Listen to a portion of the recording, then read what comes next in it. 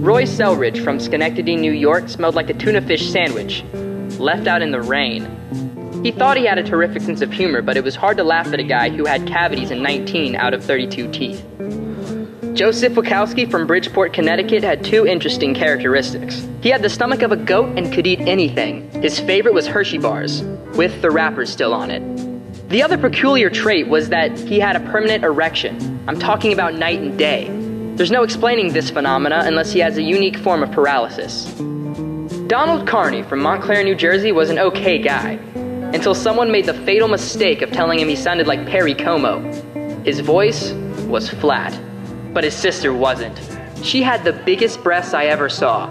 She came to visit him at Fort Dix wearing a tight red sweater, and that's when I first discovered Wykowski's condition. Arnold Epstein of Queens Boulevard, New York was a sensitive, well read, intelligent young man. His major flaw was that he was incapable of digesting food stronger than hard boiled eggs. I didn't think he'd last long in the Army, because during wartime, it's very hard to go home for dinner every night.